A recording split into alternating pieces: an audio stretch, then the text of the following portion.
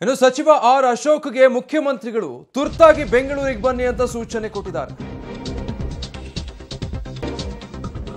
ಸಚಿವ R ಅಶೋಕ್ಗೆ CM Yediyurappa ಈ ರೀತಿ ಬುಲಾವ್ ಬೆಂಗಳೂರಿಗೆ ತುರ್ತಾಗಿ ಬನ್ನಿ ಅಂತ ಸೂಚನೆ ಕೊಟ್ಟಿದ್ದಾರೆ.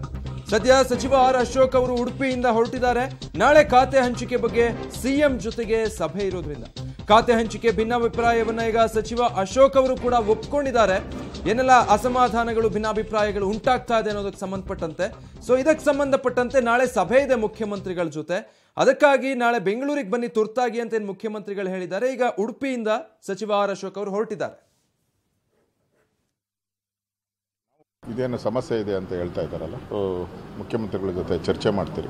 ನಾನು ತಿಳಿದ ಪಟ್ಟಂಗೆ ಆ ಥರದ್ದೇನು ಸಮಸ್ಯೆ ಇರಲ್ಲ. ಯಾಕಂದರೆ ಈಗಾಗಲೇ ಎಲ್ಲರಿಗೂ ಕನ್ವಿನ್ಸ್ ಮಾಡಿದ್ದೀರಿ. ಅನ್ನೊಂದ್ಸರಿ ಸಿಕ್ಕಿಲ್ಲ ನನಗೆ ಟ್ರೈ ಮಾಡಿದೆ ನಾನು. ರಾಜಗೌಡರಿಗೆ ಮಾತಾಡಿದ್ದೀನಿ. ರಾಜಗೌಡರಿಗೆ ಕ ಹೇಳಿದ್ದೀನಿ ನಾನು. ಬೇಡ, ಆ ಥರ ನಿರ್ಧಾರಗಳು ಬೇಡ ಅಂತ ಹೇಳಿ ರಾಜಗೌಡರಿಗೆ ಹೇಳಿದ್ದೀನಿ. ಹೋದ್ಮೇಲೆ ಒಂದ್ಸರಿ ಮಾತಾಡಿ, ಎಲ್ಲರ ಜೊತೆ ಮಾತಾಡ್ತೀರಿ. ಇಲ್ಲ, ಆ ಥರ ಮೊನ್ನೆನೇ ಎಲ್ಲ ಸಾಲ್ವ್ ಆಗಿದೆ. ಈಗ ಹೊಸ್ದಾಗಿ ಮತ್ತೆ ಬದಲಾವಣೆ ಆಗಿರೋದ್ರಿಂದ ಮತ್ತೆ ಪ್ರಾರಂಭ ಆಗಿದೆ. ಈಗ ಎಂ ಟಿ ಬಿ ನಾಗರಾಜ್ ಅವರು ನನಗೆ ಫೋನ್ ಮಾಡಿದರು.